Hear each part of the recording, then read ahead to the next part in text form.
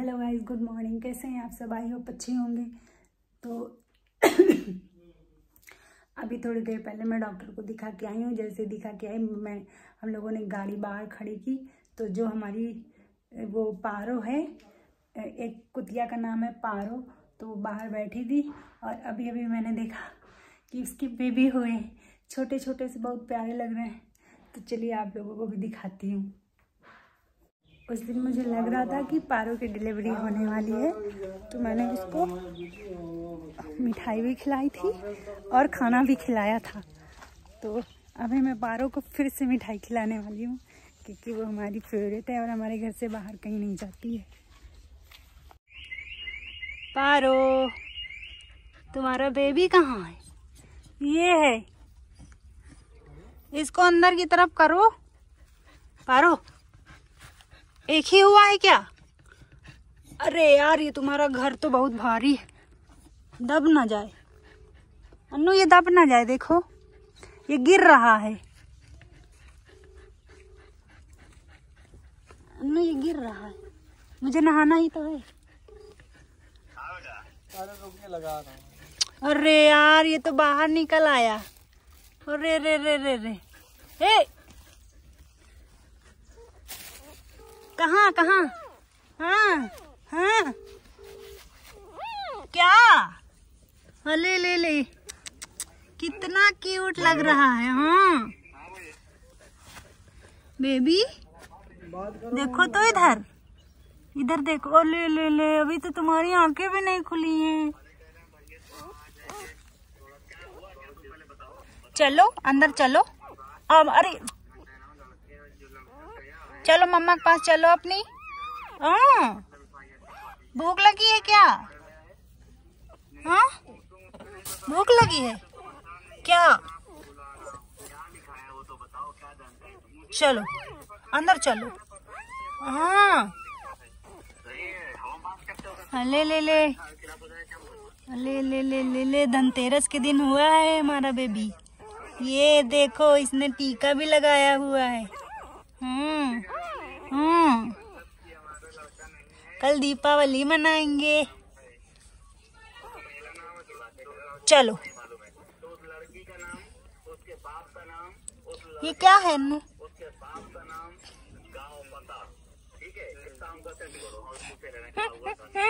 आओ। आ ले ले ले ले, ले। चलो तुमको तुम्हारी मम्मा के पास छोड़ दे भाई। लो, इस बोरे में बैठो आराम से। लो पारो, तुम मिठाई खा लो। लो खाओ, मीठा है, खा लो। नहीं खाओगी क्या? पेड़ा खाओगी, पेड़ा?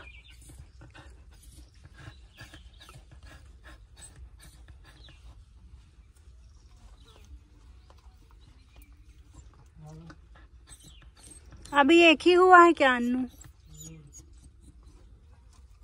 खा लो।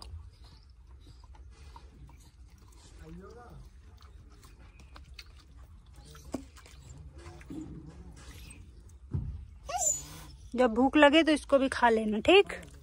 लो। हुआ? छोड़ो छोड़ो पैर हटाओ लो, चावल खाओगी? लड्डू खा लो। हाँ लड्डू खा लो। इसको बाद में खा लेना ना। हम्म क्या? क्या? दर्द हो रहा है क्या? ठीक हो जाएगा। लड्डू अच्छा तो है। अभी धांधू आ जाएगा, धांधू खा लेगा फिर। धांधू आके पूरा लड्डू खा जाएगा एक बार में। नहीं, जल्दी से खा लो तुम। खा लो ना। लड्डू लो खाओ। क्यों नहीं खा रही खा लो।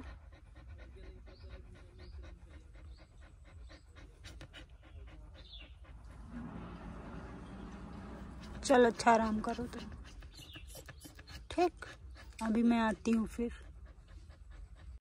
जो ये पारो है, जब ये पारो हुई थी ना तो पारो चार चार भाई बहन थे, जिनमें से ये पैदा हुए थे तो बहुत ज़्यादा ठंड पड़ रही थी।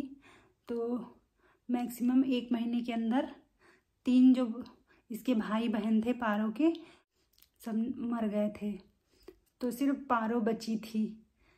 तो हम लोगों ने पारो को खिलाने पिलाने में बहुत मेहनत करी और थोड़ी सी जब हष्ट पुष्ट हुई, थोड़ा ये भी बीमार हो गई, फिर हमने इसका अच्छे से ख्याल रखा। ठंडियों में इसके लिए एक हम लोगों ने, जहाँ पे अभी मैंने आप लोगों को दिखाया जहाँ पे उसकी डिलीवरी हुई है, वहीं पे हम लोगों ने एक लकड़ी का इसके लिए घर बना दिया था। तो वो वहीं उसको रात में उड़ा देते थे और उड़ा के बिठा देते थे तो वहीं आराम से वो सो जाती थी। फिर सुबह उठ जाती थी, रात में वो फिर वहीं चली जाती थी। और अब उसकी भी डिलीवरी हुई है। उसका एक बेबी हुआ है जो कि बहुत ही प्यारा है। अभी मुझे लग रहा और होंगे, लेकिन अभी हम लोग, अभी जब हम लोग आए तो हमने देखा तो वहाँ पे सिर्फ़ एक ही बच्चा था। अभी होगा तो मैं आप लोगों को और दिखाऊँगी। तो बहुत दिनों बाद लगने जा रही है हमारे घर में झालर। और मेरे लिए आया ऑरेंज तो मैं ऑरेंज खाऊँगी। और जो लोग झालर लगा रहे हैं, चलिए हम आपको उनको दिखाते हैं।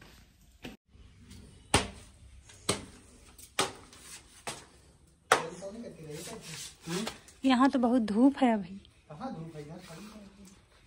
धूप है मैं कही रहा है यहाँ पे खड़ी हो जाओ।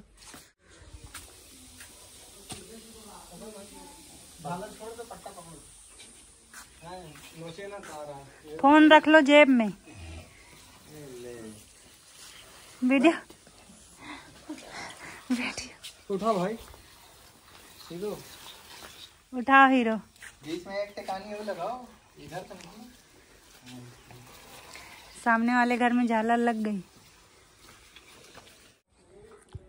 इतनी देर से ही दो लोग दो लोग झालर नहीं लगा पा रहे हैं।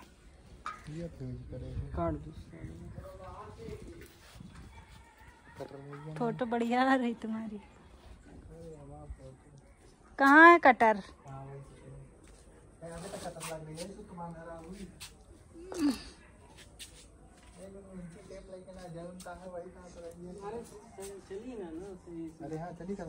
लो पकड़ो।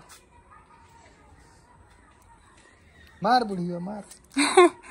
दादिया का चिल्ला रहे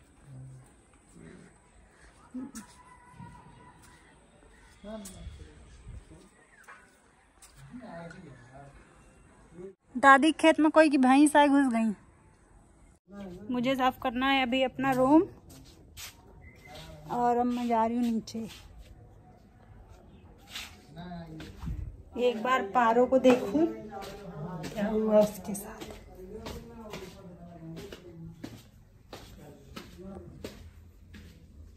पारो अपने घर से निकलकर बाहर बैठ गई है, शायद उसको। हाँ? ठीक। शायद उसको दर्द हो रहा है। इसीलिए।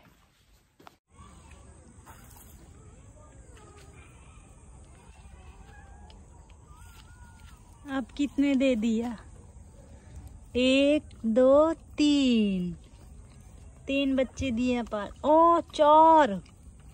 एक ये छुपा है, सबसे बड़ा ये है, फिर वो है, फिर एक वो है, एक ये है। चार एक पाँच। एक पैर के नीचे छुपा है ये। पाँच बच्चे दिया पारों ने। तो अभी खाना है मुझे पालक। और दादी अपने खेत में तोड़ रही है पालक। तो मैं पीछे से जाऊँगी दादी के पास पालक लेने। मेरे घर में ये झालर लग गई। अभी अंधेरा नहीं है ना इस वजह से कम दिखाई दे रही है। अभी रात में दिखाऊँगी तब बहुत अच्छी दिखेगी। दादी खेत में गोभी तो बहुत अच्छी है।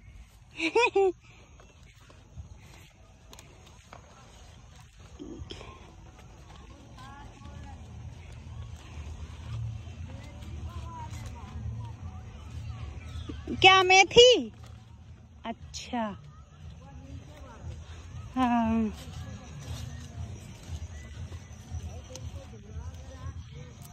फूल बहुत अच्छे अच्छे लगे। हम्म, वो दिख रहा है मेरा घर। एक सेकेंड। वो खड़ी है मेरी कार एंड वो लाइटिंग जल रही है। और ये है हमारी दादी। हाँ भाई साहब, दादी बहुत पैसे वाली है। वहाँ से, वहाँ तक जो खेत दिखाई दे रहे हैं, ये बाग, जहाँ पे हमारा घर बना हुआ, ये सब दादी का था। हम लोगों ने जब खरीदा था तो वो खेत था पूरा। भाई साहब उस पेड़ के पास से लेके वहाँ यहाँ तक पूरे खेत दादी के।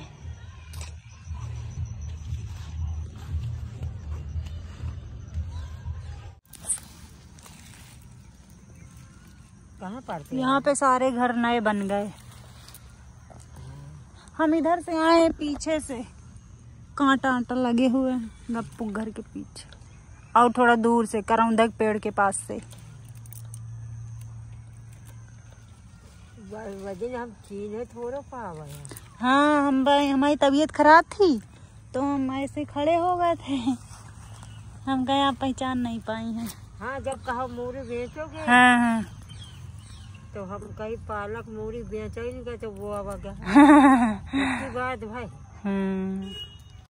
शाम का टाइम है और खेतों में बहुत ही ज़्यादा अच्छा लग रहा है, लेकिन ठंडी भी लग रही है क्योंकि ओस गिर रही है और ये ओस जुकाम का कारण बन सकती है और तबीयत खराब हो सकती है, इसलिए मुझे जल्दी घर जाना चाहिए। तो अब मैं निकलती हूँ घर के लिए।